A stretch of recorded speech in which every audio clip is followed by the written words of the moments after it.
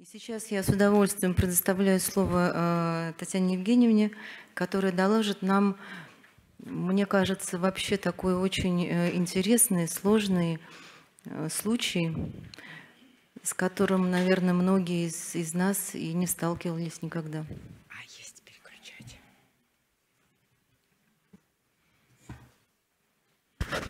Добрый день, уважаемые коллеги. Большое спасибо за приглашение. И разрешите представить вашему вниманию редкое клиническое наблюдение. Это поражение центральной нервной системы при хроническом лимфолейкозе. Э, женщине 48 лет После перенесенного ОРВИ был выполнен анализ крови, и в этом анализе обнаружен лимфатический лейкоцитоз – при иммунофенотипе э, лимфатической э, периферической крови был выявлен хронический лимфолейкоз, э, выполнено КТ грудной клетки брюшной полости, узлы до 3 сантиметров, достаточно умеренный лимфатический лейкоцитоз, и пациентку оставили под наблюдением. Но через месяц у пациентки появились э, жалобы на головную боль, сильную головную боль с эрадикацией в затылочную область, прогрессирующие э, интенсивностью, которые не купировались анальгетиками, сопровождались они э, тошнотой рвотой. И в течение месяца эта боль не стихала, а наоборот нарастала, и больная была направлена на дообследование в НИЦ онкологии. Э, при обследовании выявлена лимфоаденопатия э, до 3,5-4 см периферических и забрюшинных лимфатических узлов, печень, селезенка не увеличены. В миелограмме 80% лимфоцитов с иммунофенотипом хронического лимфолейкоза с яркой экспрессией CD20. А, учитывая такую не совсем укладывающую иммунофенотипическую картину, было выполнено иммунофенотипирование э, трипанобиоптата, гистологического субстрата. И э, не обнаружена э, экспрессия циклин D1. Более того, сделано фиш-исследование для э, исключения транслокации 11-14, которое обнаружено не было. А, при осмотре офтальмологом у больной альтернирующее косоглазие, нистагм, застойные явления на глазном дне. И э, выполнена магнитно-резонансная томография, и выявлен э, лептоменингит, есть поражение оболочек и э, внутричерепная гипертензия. Больная была госпитализирована в неврологическое отделение Калининградской области э, при исследовании ликвора в люмбальной пункции э, цитоз 564 клетки, лимфоциты составляют 88%, а, и исключен инфекционный характер поражения центральной нервной системы. Больная получала симптоматическое лечение, включающее в себя противовирусную терапию, это ацикловир, дексаметазон 24 мг в сутки и анальгезирующую терапию с выраженной положительной динамикой. А, прошла головная боль, но сохранялась диплопия, э, разностояние глазных яблок, нестаг при взгляде вправо, и больная была вновь направлена на э, да, обследование в НИЦ онкологии. При поступлении относи, умеренный лимфатический лейкоцитоз 19 тысяч, лимфоцитов 79%, э, без особенностей в биохимическом анализе, единственное, что немножко повышен уровень ЛДГ, в миелограмме 70% лимфоцитов с иммунофенотипом хронического лимфолейкоза, сохраняется лимфоаденопатия периферических и забрюшинных лимфатических узлов порядка 4 см, печень селезенка не увеличена при исследовании спинномозговой жидкости цитоз 20, э, 200 клеток, из них 100% лимфоциты. При иммунофенотипировании иммунофенотип 70% CD5 позитивные лимфомы с яркой экспрессией CD20. При микробиологическом исследовании спинномозговой жидкости роста аэробной, факультативно анаэробной Э, флоры дрожжевых грибов не получено. ДНК, ДНК цитомегаловируса и вирусов герпеса также не обнаружено, но обнаружен ДНК вируса Эпштейна-Барр в количестве 342 копий. И э, морфологическая картина и иммунофенотип лимфоидных клеток, спинномозговой жидкости и костного мозга – одинаков, аналогичен и соответствует хроническому лимфолейкозу. Таким образом, у больной э, установлен диагноз хронического лимфолейкоза с поражением периферических забрюшинных лимфатических узлов центральной нервной системы по типу нейролейкемии. Что из прогностических факторов? Э, уровень бета-2 повышен, 3,3, но меньше 3,5.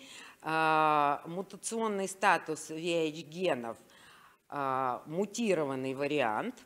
Делеция 17 хромосомы не определяется, транслокация 11-14 не обнаружена. При стандартном цитогенетическом исследовании выявлен клон с трисомией по хромосомам 12, 18 и 19.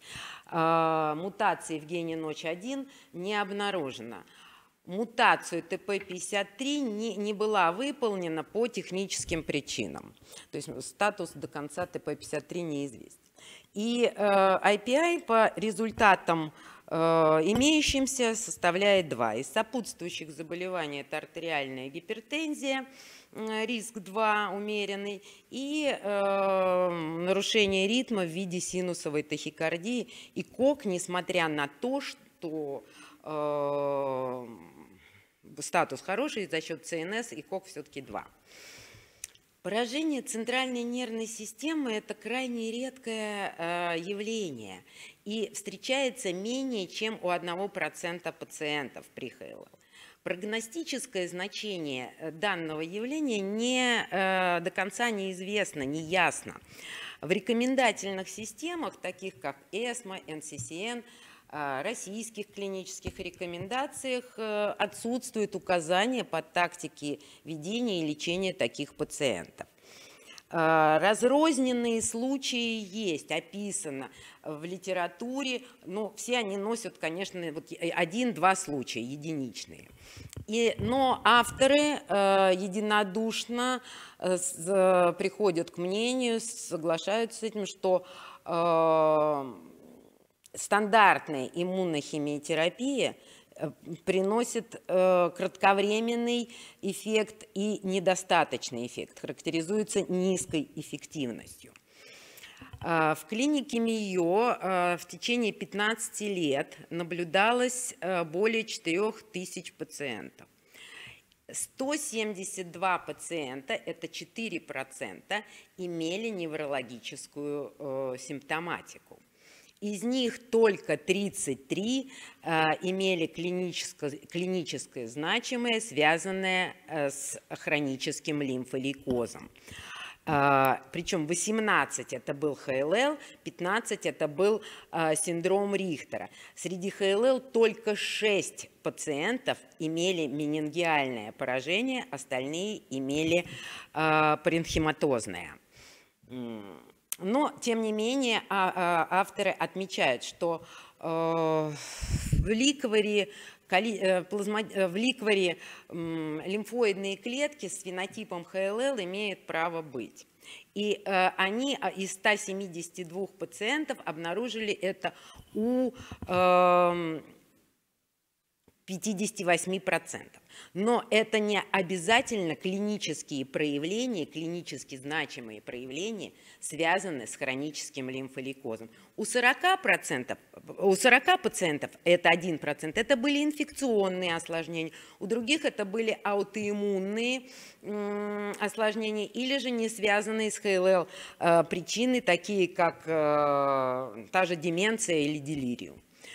Если у пациента есть хронический лимфолейкоз, клетки в ликворе э, имеют право быть, но это может быть клинически незначимая ситуация. А клинически значимая ситуация с поражением оболочек – это э, на э, 15-летний опыт у них получилось 0,3-0,4% пациентов. И использовались различные режимы терапии, антрациклин содержащие, пуриновые аналоги, э, высокие дозы метатрексата, высокие дозы циторабина и э, приносили достаточно незначительный эффект. Э, и общая выживаемость пациентов с ХЛЛ с поражением ЦНС и с синдромом Рихтера составила 12 и 11 месяцев соответственно. Сообщения носят разрозненный характер, и наибольшее количество сообщений – это вот четыре. Э, четыре пациента с поражением ЦНС, с поражением менингиальным, поражением ЦНС по типу нейролейкемии. Пациенты э, получали и высокие дозы циторабина, и высокие дозы метатрексата, ретуксимаб, интертекально вводились цитостатики. И тут же авторы подчеркивают, что э, не приносило это никакого эффекта, то есть цитоз в ликворе сохранялся.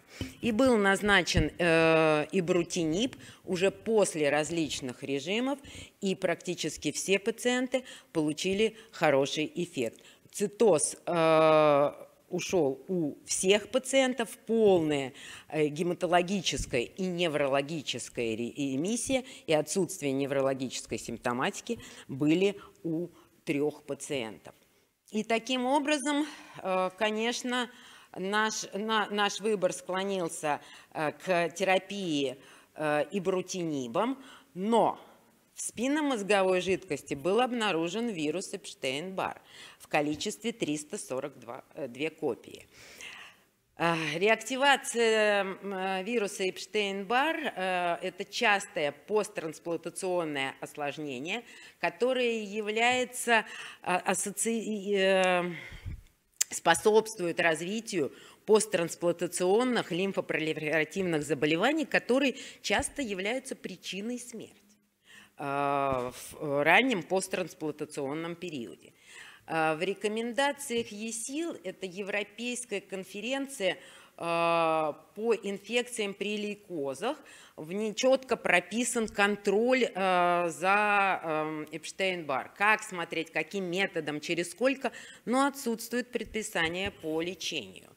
И ряд авторов – показывает, что упреждающая анти-CD20 терапия ретоксимабом снижает э, частоту развития э, лимфопролиферативных заболеваний посттрансплантационных и при, э, происходит эрадикация вируса Эпштейн-Бар. Вот 110 пациентов после аллотрансплантации э, с реактивацией вируса Эпштейн-Бар. Среднее число введений ретуксимаба 3 в диапазоне от 2 до 8, и у 95% пациентов удалось избежать э, развития посттрансплантационного лимфопролиферативного заболевания и достигнута эрадикация вируса Эпштейн-Бар. 222 пациента с реактивацией Эпштейн-Бар, 35 э, нуждались в терапии ретуксимабов и лечение было успешно у всех пациентов. Таким образом, с 10 июля начата терапия в составе э, ибрутиниба и ретуксимаба, но буквально через два дня э, мы, э, возобновляются головные боли. Конечно, испугались, что случилось, почему, неэффективность, расстроились. И э, дел, выполняется МРТ, и мы видим пансинусит, в то же время э, положительная динамика от двух приемов эбрутиниба и от одной люмбальной пункции по, со стороны оболочек. Э, конечно, на момент терапии эм, больная получала антибактериальную противогрибковую терапию. Там была стрептокок, э, стафилококковая флора. И на момент э, антибактериальной противогрибковой терапии доза ибрутиниба была снижена до 140 мг в сутки. То есть терапию мы не отменяли э, ни при каких условиях. И уже буквально через 20 э, дней мы имеем положительную динамику в отношении синусита и дальнейшую положительную динамику со стороны э, оболочек головного мозга. Таким образом, больная получала и брутинип, и редуксимаб. С третьего курса был добавлен винитоклакс с пятинедельным э, этапом эскалации дозы. То есть дозу 400 мг а, пациентка получала с четвертого цикла. Для чего? Э, прогноз все-таки не ясен и ближе к плохому. И неизвестен э, статус э, мутации ТП-53, и для того, чтобы сделать терапию конечной. И производились люмбальные пункции, их всего было 5, с интертекальным введением только дексаметазона – цитостатики не вводились. И э, при люмбальной пункции исследования спинномозговой жидкости от буквально через 10 дней приема ибрутиниба и одно, одного э, введения ретуксимаба.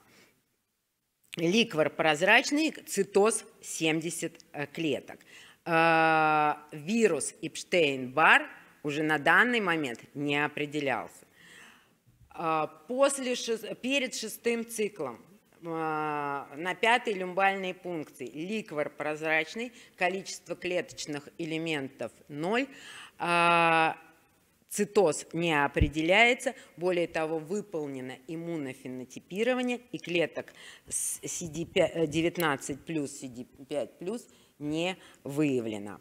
Вот динамика снижение уровня цитоза в спинномозговой жидкости э, вводился только дексаметазон. И произведена оценка заболевания эм, после шестого и после девятого циклов, трехкомпонентная схема, и брутинип, винитоклакс и ретуксимаб, после шестого цикла достигнут полный метаболический ответ по данным ПЭТ-КТ. Полная э, резорбция э, изменений оболочек. Э, то есть достигнута э, э, неврологическая ремиссия по данным МРТ головного мозга. После шестого цикла костный мозг сохраняется относительный лимфоцитоз 17% и не удалось э, ввиду все-таки малого количества Б-клеток не удалось э, посмотреть минимальную э, измеряемую болезнь. Но уже после девятого цикла нормализовалось количество лимфоцитов и не определяется минимальная остаточная болезнь. Лечение продолжается. Планируем 24 курса комбинированной терапии. Спасибо за внимание. Спасибо большое, Татьяна Евгеньевна. Мы начали выбиваться из регламента, поэтому, может быть, я предлагаю вопросы оставить потом. Да, и, наверное, может быть, я сейчас продолжу э, вот эту вот тему, запущенную Татьяной Евгеньевной, а потом мы еще обсудим, с вашего позволения. Да?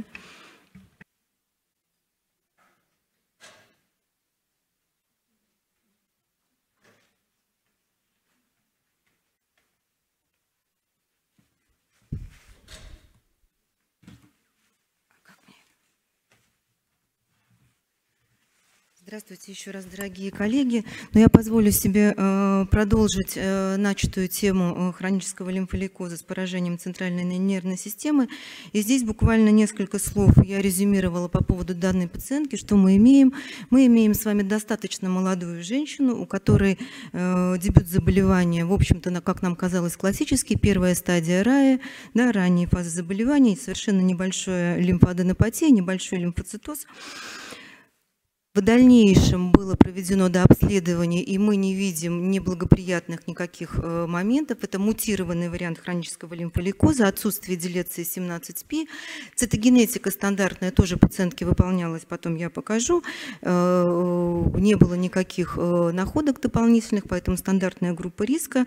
Но Буквально через месяц после постановки диагноза у пациентки возникает поражение ЦНС, исключаются все возможные вирусные, бактериальные, грибковые инфекции. На начальном этапе э, ничего не обнаружено, и э, цитоз нам позволяет говорить о том, что это э, также картина хронического лимфоликоза. И вот здесь мы видим ту терапию первой линии, которую получала наша пациентка. Комбинированная тройная терапия, достигнута полная МОП-негативная ремиссия. Ну, казалось бы, все хорошо, что мы можем здесь с вами обсуждать.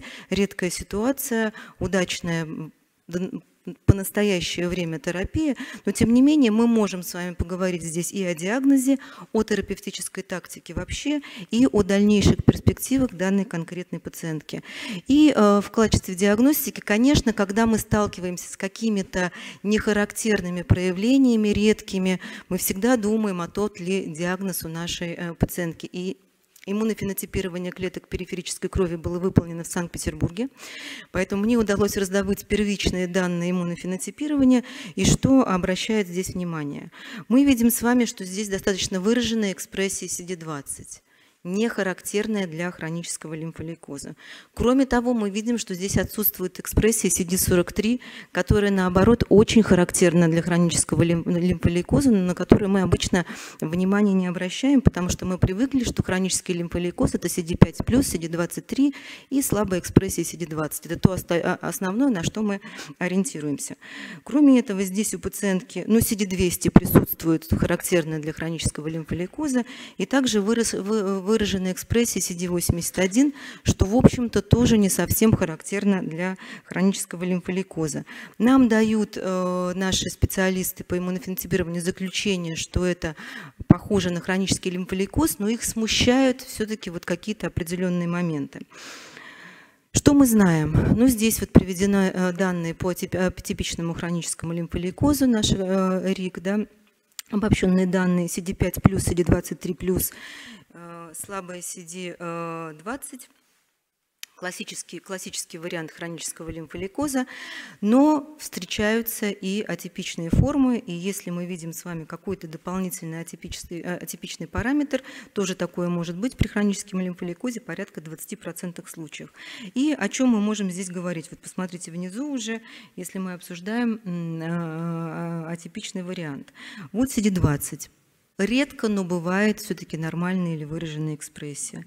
CD43 минус, ну, практически не бывает, хотя бывает иногда очень слабенькая экспрессия. И CD40 минус может быть характерно для лимфомы э, маргинальной зоны и для лимфомы э, из клеток мантии то, о чем мы сразу же думаем у наших пациентов, да, потому что бывают случаи, когда мы не можем правильно поставить диагноз, чтобы не упустить э, мантийно-клеточную лимфому.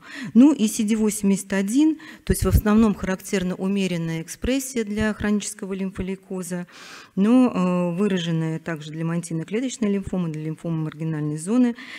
Но CD200, в общем-то, э, нам все карты сбивают, потому что CD200 практически никогда не встречается при мантийной клеточной лимфоме, хотя очень редко, там около 5% может быть, да, ну и э, при маргинальной зоне тоже может быть. Поэтому здесь, конечно, картина иммунофенотипирования, она не классическая. Здесь какой-то атипический вариант все-таки хронического лимфолейкоза, если мы о нем э, говорим. Есть особенные случаи. Конечно, наши коллеги московские тоже э, это, э, об этом подумали, сделали гистологическое иммуногистохимическое исследование костного мозга, но вот результата такого вот развернутого, чтобы почитать, что же там при иммуногистохимии у меня не было. Но что было интересно, что в костном мозге при цитогенетическом исследовании первоначально было выявлено 8% клеток с транслокацией 11-14. Тоже у меня нету этих данных первичных. Что это было за исследование? ФИШ – это одна история. Или это цитогенетика. Тогда это совсем другая история, потому что если мы оцениваем 20 метафаз, например, то 8% клеток – это одна. Соответственно, одна клетка – это не клональное изменение, да, поэтому мы не можем э, трактовать никак этот результат. И пациентка самостоятельно поехала в Санкт-Петербург, и она обследовалась у нас э, в Институте э, переливания крови лаборатория молекулярной генетики руководитель Ирина Степановна Мартынкевич, и они сделали стандартное кариотипирование э, клеток периферической крови э, с двойной стимуляцией, выявлен нормальный кариотип, 20 метафаз получилось посмотреть, и при ФИШ э, транслокации 11-14 выявлено не было у этой пациентки, и также было дополнительно выявлено на делецию ТП-53, также не обнаружено. Поэтому, ну, все-таки, наверное, мы не можем здесь говорить, с учетом того, что циклин D1 был отрицательный по иммуногистохимии, химии, по крайней мере, о лимфоме из клеток э, мантии говорить не приходится, хотя мне, конечно, вот очень хотелось поиграть с диагнозом и сказать, что вы неправильно поставили диагноз, здесь что-то другое, но все равно какой-то осадок относительно этого случая остается, но тем не менее, все-таки, ну, вероятнее всего, это хронический лимфолейкоз. Ну, ликвор подтверждает нам э, те же самые ситуации. Ну и дальше на этом можно было бы, наверное, закончить мое выступление, потому что э, никаких стандартов по э, лечению э, хронического лимфолейкоза с поражением центральной нервной системы в настоящее время не существует. Это действительно редкое осложнение. До 2% случаев э, описываются вот клинические проявления, хотя при аутопсиях поражение э, ЦНС выявляется до 71% случаев да, то есть какие-то проявления, какие-то клетки хронического лимфолейкоза могут быть, и бессимптомные тоже проявления, они встречаются, и все авторы вот э, показывают, что такие, э, такое исследование проводилось. Раньше считалось, что продвинутые стадии хронического лимфолейкоза э, сопровождаются с поражением ЦНС, сейчас уже все больше и больше говорят о том, и наблюдения клинические говорят о том, что на ранних стадиях встречается да, э, в основном, и мы увидим эту нашу пациентку с вами, и в том числе у нелеченных пациентов. Поэтому редкое проявление, но даже ранние стадии э, и первичные пациенты не застрахованы от э, этого поражения. Ну и время постановки, от момента постановки диагноза хронического лимфолейкоза до поражения ЦНС, оно варьирует, и в среднем медиана составляет 4,5 года. Поэтому да, на любом этапе мы можем с этим э, столкнуться. И вот раньше то, что э, показывала Татьяна Евгеньевна, считалось, что это э, ограничивает выживаемость наших пациентов. И действительно, медианная выживаемость составляла где-то около 12 месяцев после подтверждения симптомного поражения ЦНС. Эти данные уже Татьяна Евгеньевна показала, я не буду подробно останавливаться на них, но э, 0,4% в этой популяции в клинике Майо было симптомного поражения центральной нервной системы с выживаемостью выживаемостью порядка 12 месяцев, да, очень низкие результаты. Но так как авторы проанализировали большую категорию пациентов, всего 18 пациентов, да, из такой вот э, больше нескольких тысяч было подтверждено поражение, э, к чему они склонились? К тому, что Иммунофенотипирование позволяет нам выявить клетки хронического лимфолейкоза в ликворе, но не всегда наличие этих клеток является поражением специфическим центральной нервной системы, специфично составляет всего 42%. Потому что клетки хронического лимфолейкоза тоже могут переноситься э, в ликвор, если имеется какой-то воспалительный э, компонент. Да, поэтому э, воспаление может проявляться этими моментами. Также мы должны помнить о том, что может быть контаминация периферической крови. И именно поэтому, когда мы оцениваем иммунофенотипирование, всегда нужно смотреть внимательно заключение, нет ли там эритроидных клеток. Потому что если есть эритроциты, то, считай, все, мы с вами, скорее всего, попали в очаг контаминации. Ну и, как я уже говорила, асимптомное течение может быть э, достаточно частым, просто мы его не улавливаем, не всем больным, конечно, мы делаем, у нас нет таких э, показаний. Поэтому, когда мы пытаемся э, поставить диагноз специфического поражения центральной нервной системы, мы должны взвешенно проходить. И здесь нам э, наши американские коллеги предлагают алгоритм, да, если есть неврологическая симптоматика, мы должны сделать МРТ-диагностику, и дальше мы должны, если у нас есть какие-то подозрительные очаги, мы должны идти или на биопсию, биопсию, если это возможно, если нет каких-то факторов риска, или выполнять уже люмбальную пункцию с ее детальной очень оценкой для того, чтобы исключить дополнительные э, моменты. И если это симптомное поражение, если мы все возможные причины исключения, то это является уже показанием для э, проведения терапии. Какой терапии, это остается вопрос, системный или только интратекальный. Я повторяю, что четкости сейчас нету. Но ну, нашей пациентке провелась тройная, проводилась тройная и проводится тройная терапия, мы уже об этом говорили. Что хочется сказать? То есть вот последние полтора месяца, конечно, я занималась вот тем, что искала, что есть. И действительно есть статьи, их немало, но все они посвящены одному-двум случаям, очень мало каких-то обзорных э, статей, четких алгоритмов нету, прогностическое значение не определено. Раньше считалось, что это плохо, сейчас уже есть наблюдение, когда выживаемость у пациентов очень хорошая, после банальных интертекальных э, введений э, метатрексата, например, да, поэтому неизвестно, нужно ли лечить ХЛЛ системно, если есть ЦНС-поражение, тоже никто не знает, тоже нет таких рекомендаций. Хотя наши коллеги да, э, из ИРИК склоняются ну, так еще не сто процентов, но все-таки уже начинают говорить о том, что симптомное поражение ЦНС – показание для э, системного лечения хронического лимфолейкоза. Но и варианты лечения, что бы вы ни выбрали, вы окажетесь правыми. Потому что раз нет рекомендаций, мы можем делать то, что мы считаем нужным, то, что у нас есть э, в доступе. Обсуждается радиотерапия, тотальное облучение головы. Это интертекальное введение метатрексата, цитерабина, дексаметазона. Некоторые авторы даже высокодозный метатрексат с цитерабином проводят. Это FCR, также может э, э, применяться. И брутинип, венитоклакс, ну, в общем, описывается все, что угодно, без каких-то либо а, детальных проработок.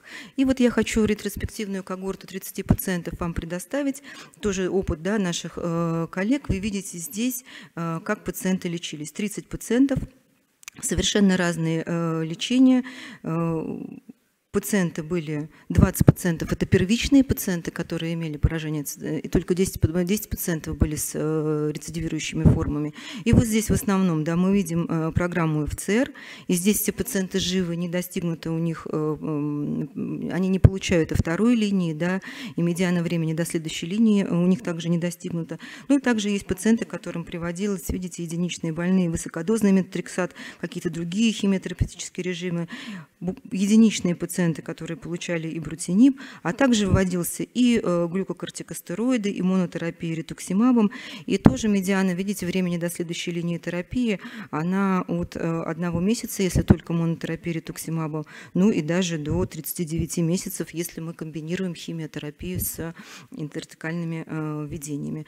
Ну и здесь у нелеченных пациентов пятилетняя выживаемость у нас общая составляет 72%, у рецидивирующих пациентов 48%, и э, если мы говорим о э, беспрогрессивной выживаемости, 143% пятилетняя выживаемость для больных – не получавших ранее никакое лечение, и никто из больных с рецидивирующими формами не переживает пятилетний э, порог. Вот такие вот результаты. И, наверное, самый такой э, большой обзор, просто я показываю вам здесь, как он выглядит. Это собраны 68 различных статей, 4 абстракта с 74 по 2018 годы. Сюда включено 106 пациентов. Каждый отдельный пациент разбирался авторами отдельно. Тоже наши американские коллеги, вы видите, они показывают и возраст, и пол, и стадию заболеваний и те варианты лечения, которые э, проводились. И вот я красным отметила очень длительный период общей выживаемости у пациента, да, который получил э, интертекальный метод рексат с э, цитозаром и тотальное облучение, например, головы и системную терапию хлорбутином. Вот у него выживаемость 86 месяцев у этого больного составила. Есть также неплохие выживаемости комбинации хлорбутин с метотрексатом 48 месяцев, да, но в основном, конечно, периоды э, выживаемости очень э, низкие. Начали уже пациенты получать и брутинип, тоже выделены они, видите, здесь несколько пациентов. И э, все пациенты ответили на терапию брутинибом. В основном это монотерапия. Вот один больной получил интратекальный метатрексат. Период э, выживаемости здесь также отмечен, он еще небольшой, от 3 до 18 месяцев, но Просто период наблюдения за этими пациентами еще на момент публикации он был вот такой, то есть все больные были в ответы. К сожалению, обновленных данных вот по этим случаям каким-то, что сейчас с больными, их нету. Ну и вообще вот в этой вот когорте исследования, да, общая выживаемость общая, вот если посмотрели да, пациентам, 9 месяцев составила от момента симптомного поражения ЦНС. Связи никакой нету со стадией заболевания. Как я уже сказала, все пациенты ответили на терапию ибрутинибом. И то, что готовится к публикации сейчас, это данные исследования ИРИК, в котором наша страна принимает участие. Вот наш центр под руководством Евгения Александровича Никитина, вот Мария Игоревна здесь присутствует, тоже включилась в это исследование. 15 центров, 9 стран. Здесь оценка ретроспективной когорты 28 пациентов с хроническим лимфолейкозом. Там еще были Рихтера, но я их не взяла. И также здесь вы видите э, первичных пациентов 9 Э, рецидивирующих 19 сюда включилось, да, медиана времени 46 э, месяцев, то есть то, что в ранний э, период нам показали, да, и, соответственно, то лечение, которое получали пациенты, здесь есть пациенты на ибрутинибе первичные, есть уже пациенты, которые получают венитоклакс и акалобрутиниб, и здесь, посмотрите, выживаемость, да, составляет, в общем-то, результаты лечения хорошие, особенно если это пациенты в первой линии, порядка 70% больных отвечают на лечение, и медиана общей выживаемости пока 89 месяцев. То есть эти результаты показывают, что не такой уж и плохой прогноз, наверное, за счет тех больных, которые начали получать уже современную инновационную терапию. Что касается лечения нашей пациентки, комбинированная терапия, ну, по крайней мере, двойная комбинация, и брутинип с венитоклаксом, исследование ГЛОУ, вы видите э, уже доступны э, достаточно такие серьезные результаты при медиане наблюдения 57 месяцев, и 90% пациентов с мутированным вариантом после 15 месяцев терапии остаются без признаков прогрессирования. У нашей пациентки мутированный вариант, у нее с точки зрения хронического лимфолейкоза есть все шансы. А исследование Flyer – это МОП-ориентированный подход, период лечения, двойной период от момента достижения МОП-негативности, подтвержденной в костном мозге, четырехлетние данные 94% беспрогрессивная выживаемость. И если мы посмотрим с вами на пациентов с мутированным вариантом, то беспрогрессивная выживаемость здесь порядка 94,5%. То есть очень хорошие результаты дает фиксированная по длительности терапия в такой категории э, пациентов, но у нас же еще поражение ЦНС. И как здесь сыграет ибрутинип? Известно сегодня, что он проникает через гематоэнцефалический э, барьер. Его случаи описаны применение лимфомы из клеток мантии, э, макроглобулиновой в эндолистроме, первичной лимфомы ЦНС, хронический лимфолейкоз. А дальше, как его скомбинировать, опять, есть случаи, которые комбинируют в монорежиме, есть случаи, которые комбинируют с химиотерапией, с ритуксимабом, с интратекальными введениями, без интратекального введения. Но на сегодняшний день действительно все те авторы, которые его применяют, говорят о том, что это лучше, чем наилучшая доступная терапия до таргетных препаратов. Венитоклакс также уже показано, что он проникает через гематоэнцефалический э, барьер.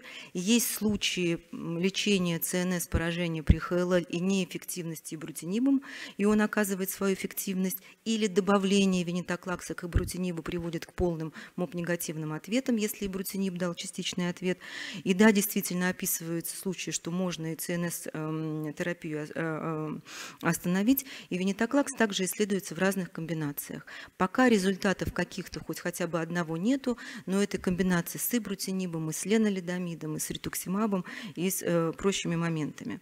Поэтому тактика у пациентки, она выбрана ну, можно сказать, правильная, оптимальная, наиболее современная сегодня, да, поэтому, скорее всего, мы э, будем продолжать лечение у этой пациентки. Сколько лечения продолжать? 15 месяцев, как нам показывает ГЛОУ, или, может быть, это будет более длительный период, там, да, 24 э, месяца. Это уже э, на усмотрение врачей, на переносимость терапии. Ну и что мы можем сделать для этой пациентки, на самом деле, при прогрессировании? Никто не знает, что сделать с поражением ЦНС при прогрессировании после таргетных э, терапий. Но мы можем повторить эту комбинацию, если мы ее отменим. И сегодня Мария Игоревна говорила о чувствительности к венитоклаксу. Это очень полезные э, данные. Ну и, конечно, у нас остается опция – это аллогенная трансплантация костного мозга. На сегодняшний день мы такую опцию для пациентки не предлагаем, потому что все-таки мы не считаем, что это ХЛЛ высокого риска 2. Да, она ответила сейчас на э, таргетный агент, у нее нет ТП-53, Соответственно, если у нее будет рецидив, наверное, нужно будет пойти на э, лечение интратекальное или другое и уже решать вопрос на э, трансплантации костного мозга, хотя протипировать ее можно. Ну и будущие перспективы у нас также не определены, хотя есть данные о том, что картоклеточная терапия может быть эффективна, по крайней мере, при каких-то лимфомах ЦНС это уже исследуется. Ну и дальше все то, что сейчас разрабатывается для хронического лимфолейкоза, возможно, также мы в перспективе будем иметь и для э, ЦНС поражения. Я благодарю вас за, за внимание. Вот у нас в Петербурге начинаются белые ночи, поэтому вам такое питерское настроение весеннее. Спасибо. Да, Мария Олеговна, спасибо большое. Э, она как модератор закончила э, вот разбор этих случаев. Пожалуйста, коллеги, у кого есть еще желание что-то, может быть, обсудить, подчеркнуть, еще раз, да, пожалуйста. Да, Ирина Владимировна, поскольку это больное да. с нашей клиники, мы с Татьяной Евгеньевной очень нервничали, когда принимали решение, что с ней делать. Как обычно, я поступаю, значит, у меня звонок другу, я звоню всем, кто занимается хроническим лимфолейкозом, начинаю спрашивать, как поступать в такой ситуации. Но, вы знаете, я хочу вспомнить еще один клинический случай, который у нас был. Это касалось случая молодой тоже женщины около 50 лет, у которой был Т-клеточный лейкоз лейкоз из больших гранулярных лимфоцитов, которая спокойно наблюдала со своим лейкозом, не требовала э, лечения. И потом у нее появились головные боли, непонятно почему, и неврологи ее посмотрели, сказали, не-не-не, это лейкоз, лейкоз, идите отсюда. Значит, она пришла к нам, и мы, ну, сделали э, э, МРТ, там ничего не нашли, ну, думаю, давайте сделаем люмбальную пункцию. Батюшки, сделали люмбальную пункцию, а там плавают эти самые лимфоциты. Тогда мы были, наверное, не очень, мы были более зелеными, не очень понимали, что они имеют право там плавать. Мы стали нервничать и водить туда метатрексат. Я никогда не забуду вот этот случай. Татьяна Евгеньевна, наверное, его тоже помнит, больную Вилла Фалалеева Наталья Александровна, я вот так хорошо помню. Мы делаем любальную пункцию, вводим туда метатрексат, цитоз как был, вот так он и остается. Один, э, первый случай, второе, то есть одно видение, второе видение – Абсолютно никакой реакции. Голова как болела, так и болит. Но самое удивительное, что цитоз не менялся ни на одну клетку. После третьей люмбальной пункции сведения метатрексат мы перекрестились, поняли, что больше не надо этого делать.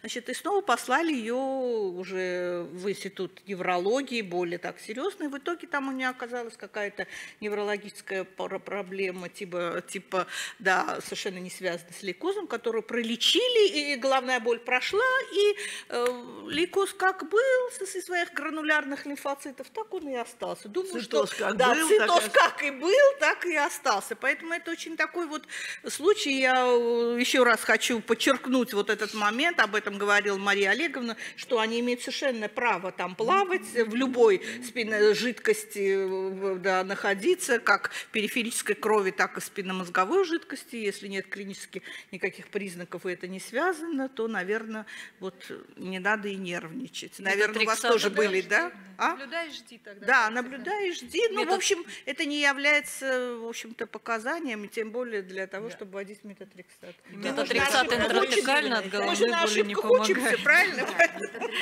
Да. Метатрексат а я как раз нашла работы, что они не без эффекта все. Э, нет необходимости вводить цитостатики вообще. Э, они, вот эта работа с ибрутинибом, она показала, что они вводили, вводили, вводили без, бессмысленно. Точно так же, как и нас. Хотя там было доказанное поражение лептоменингиальное ЦНС. Одно дело, когда это с инфекцией связано или там с другими аутоиммунными причинами, как вот в клинике Говорит, мы видим, 58% у больных есть э, в люмбальной пункции э, лимфоциты с фенотипом, с фенотипом ХЛЛ. Но это клинически незначимо, и лечить их нужно от других причин. Не нужно лечить, это не поражение ЦНС при ХЛЛ. А в общем, у них тут такая тонкая грань. Э, да, 6 человек немножко... только было на 4000, на 400. А, остальные были Рихтер, и остальные были паренхематозное поражение. И Их вот даже они- чаще было, чем... Татьяна Евгеньевна, вот они и говорят, вот эта клиника МАЙО, которые сделали вот этот четырехтысячный анализ, они и разработали вот этот алгоритм Да, да, диагностики. да. Должно быть симптомное поражение, бессимптомное мы вообще не трогаем, и даже лазить да, туда не да, надо, лезть не надо да. в ликвор. Но если есть симптомное поражение, даже если ликвор показывает э, фенотип хронического лимфолейкоза, надо искать другие причины, надо надо делать МРТ причины. и вообще биопсию желательно. 33 ХЛЛ, Да. А 40 с инфекциями. 40 с инфекциями, с, с, э, фенотипом э, ХЛЛ в ликворе клеток. И их как бы лечить надо от Да. инфекции. Что касается ибрутиниба, как вы совершенно правильно подчеркнули, сейчас мы его широко, в общем-то, стали использовать при различных э, э, других нозологиях, в частности, с первичным и вторичным поражением центральной нервной системы. Есть много работ, где он включается уже в протокол лечения первичных больных с высокими дозами метатрексата. Вот там такая работа, как обычно наши китайские коллеги вот, представили данные, вот ибрутиниб с высокими дозами метатрексата у больных с первичной лимфомой ЦНС. И, в общем-то, этот препарат, конечно, безусловно, очень перспективный в этом Вот отношении. да, да, Галина Сергеевна, то это, это- это вы сказали, очень, э, действительно очень много работ и исследований клинических проводится по лимфомам, э, первичной лимфоме ЦНС или по э, ДБККЛ. Но насколько мы можем экстраполировать это данные хроническому лимфолейкозу, потому что все-таки первичная лимфома ЦНС – это агрессивная лимфома, это другая, другая, другая биологическая опухоль. Поэтому с той же ХЛЛ это все еще впереди, мне кажется, мы будем да, смотреть, учиться, потому что индолентные лимфомы, ну вот мы только что фолликулярные разбирали, да, это совершенно другая какая-то э, история, и то, что работает э, с первичной, не работает э, с индолентной или наоборот, поэтому тут... А конечно, такое- использование, понимаете, вот в такой ситуации, когда не все доказано, агрессивной терапии, ну, в общем, это, конечно, ошибки наши, но они могут быть чреваты. Э, Понимаете, вот там э, метатрексаза, да потом еще тотальное облучение, а где, так сказать, потом ментальный, вообще как э, все, потом человек живет. Э, Понимаете, все, поэтому, конечно, здесь вот, но здесь нужны базовые знания. Вот, понимаете, наверное, очень хорошо, что сегодня вот так четко еще раз подчеркнуто, что да, клетки, которые являются полностью отражением диагноза, да, гематологического, в, онкогемато, в гематологии, в онкогематологии, они действительно могут находиться везде. И одна, одно дело, когда мы видим ликвор, да, да, клиника, другое дело, когда этой клиники нет. Конечно, очень трудно в клинической, то есть просто в реальной ситуации э, рассматривать вот эта головная боль, как ее, да, вот как это, клиника или не клиника? Да? Вот, вот, по- пожалуйста, когда у нас... Ну, там была четкая клиника, там была Нет, офтальмологическая нет, я- клиника, нет, все, я- да. Но вообще я надо аккуратно это- да, относиться. да, совершенно. конечно. Я поэтому Это еще раз, быть, вспоминая э, этот случай, подчеркиваю, аккуратнее относиться Да, к да, ситуации да, да. нахождения даже э, иммунофенотипически доказанных клеток да, в да. ликворе, к этому надо относиться всегда. Нужно базово да. понимать, что это, в принципе, патологическая норма, так скажем. Да, это факт, который может быть. Вот, поэтому э, мне кажется, что очень интересно, э, и спасибо огромное за предоставление этого случая, потому что, во-первых, это редкость, это действительно, не, в общем-то, встречается не очень часто, и поэтому мы э, вот, приветствуем раз- разборы на наших лимфорумах таких необычных клинических ситуаций. Вот. А во-вторых, вопросов по сути доста- достаточно много возникает, и нам это очень хорошо. Ирина Пожалуйста. Владимировна, можно я еще од- одно маленькое замечание? Да, все, при всех лимфомах все клетки имеют право плавать везде, где угодно, за, одном, и за одним единственным исключением. Клетка Штерберга не умеет лазить нигде, кроме как в лимфатической системе. Поэтому, если вы в ликворе найдете клетки Штерберга, не верьте этому. Это быть не может. Я правильно говорю, Вадим Валентинович? Вадим Валентинович меня поддерживает, как всегда. Спасибо. Можно я комментарий еще сделаю? Вот у меня все-таки, знаете, у меня вот эта вот история с диагнозом. Вот мы обсуждаем ЦНС поражения, а меня все равно волнует, э, Галина Сергеевна, диагноз этот, потому что Я не говорю, что здесь уже э, неправильный диагноз, я сказала. Мне очень хотелось, чтобы он был другой, но не получается. Но я просто призываю всех врачей, ну нас, да, и из регионов, и из Петербурга, из Москвы, всех, читать внимательно заключение иммунофенотипирования. Мы все привыкаем читать заключение, а сам результат не читаем. Но в результате мы можем увидеть какие-то интересные моменты, которые запустят поиск даже пускай у нас окажется неправильным, но тем не менее мозговая активность всегда бывает полезна. И еще то, что я не сказала, вот я торопилась, там Татьяна Евгеньевна отметила, вот Ирина Степановна не подтвердила э, цитогенетикой э, никаких поломок. А здесь еще была информация, что трисомия 12, 19, 18 э, хромосома. Да, Почему, почему я не обратила на это внимание? Я вам сейчас скажу, почему я даже не включила это. Потому что три поломки – это, по идее, комплексный кариотип. Комплексный кариотип – это другая история. Но там было проанализировано всего. Я же внимательно посмотрела первичное исследование цитогенетическое. У меня оно в доступе было. Проанализировано три метафазы всего.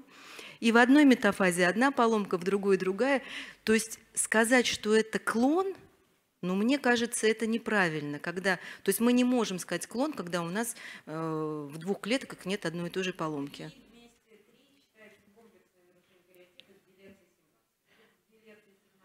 Тут всего проанализировано три метафазы клеток. То есть да, я это, это вообще... Единственное, что да. мы не знаем э, данные по мутации. Да, редко встречается ну, да. с, практически э, единичные тоже случаи, когда не мутированный вариант и делет, мутация ТП-53, но тем не менее у нас, и, у нас ее Этот нет. случай надо а, срочно описывать в международном журнале. Мария, Мария Вы будете первыми, э, кто опишет комбинацию вот. такой терапии. Можно я По еще... поводу комплексного кариотипа, можно момент э, сказать?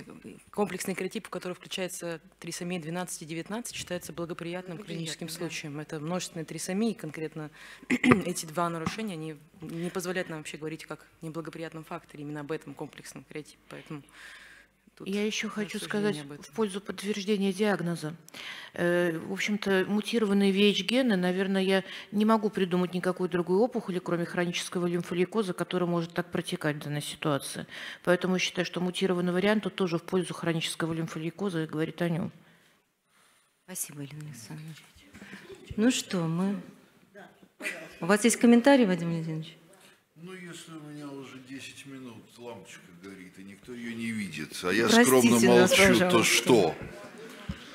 А, Мы вас слушаем. Мария Олеговна на меня смотрит периодически, но обращается к Гаине Сергеевне, которая, видимо, более интересна, чем я. Ну, что делать? Я исправляюсь, да, Вадим Алексеевич. Да, да, да, спасибо. Вообще, на самом деле, среди мелкоклеточных лимфом э, это как-то не очень афишируется, но есть лимфомы, которые вообще не помещаются в определение или в критерии э, диагностики вот чего-то определенного. Потому что ну, есть там какие-то опорные пункты для диагноза, да, э, 20 ДИМ, 523, 81, капа лямбда, так, по-моему, это все выглядит. Ну хорошо, 81 не такой, а если еще к этому 5 не такой, тогда что? Вот э, нигде не написано, сколько мы можем допустить операций, чтобы всерьез задуматься о том, тот ли это диагноз или не тот. И так везде, на самом деле. И в том числе в группе мелкоклеточных лимфом. Я бы сказал, что я поддерживаю Марию Олеговну в том, что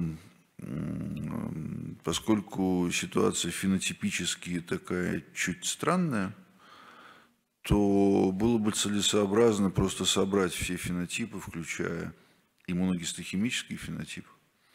А иммуногистохимический фенотип обычно предполагает э, особенно в сложных случаях, оценку экспрессии ЛЕФ-1, и вот э, потом посмотреть на это вот абсолютно комплексно. Причем я тоже проточникам верю, верю. Но я всегда прошу, чтобы мне показывали дот-плоты, потому что потому что вот эту вот сеточку, которая делит э, дотплот на сектора, они же устанавливают произвольно. И вот чуть вверх, чуть вниз ситуация меняется. Дим превращается в недим, а что-то, что не было, вдруг появляется и так далее, и так далее. Мне кажется, что с диагнозом здесь не, не так все прямо ясно совсем. Но, конечно, лучший, лучший из возможных вариантов – это э, хронический лимфолейкоз с очень аберрантным фенотипом, на мой взгляд. Еще я хотел, э, извините, я тут буду выступать как такого хранителя основ русского языка. В докладах иногда звучало, как мы будем лечить мутацию 17П, а как мы будем лечить там, значит, такой-сякой клон – ну, уважаемые коллеги, я понимаю, что в профессиональной аудитории можно лечить все, что угодно, и все друг друга понимают очень хорошо. Но мы, когда говорим, мы, когда говорим, мы рассчитываем не только на тех, кто уже все понимает хорошо, но и на тех, кто еще недостаточно что-то понимает. И поэтому, когда мы будем им в уши вкладывать и в головной мозг вкладывать лечение клона, я боюсь, что через год-другой, 5-10 лет, это приведет к непредсказуемым результатам. Так что я призываю всех хранить верность русскому языку. Спасибо. Владимир Валентинович, спасибо огромное. Спасибо. Такое хорошее заключение, вне всякого сомнения. Мы э, в своей практике действительно себе допускаем, во-первых, э, на мой взгляд, излишнее использование аббревиатуры, которые тоже не все э, всегда понимают, и многое другое.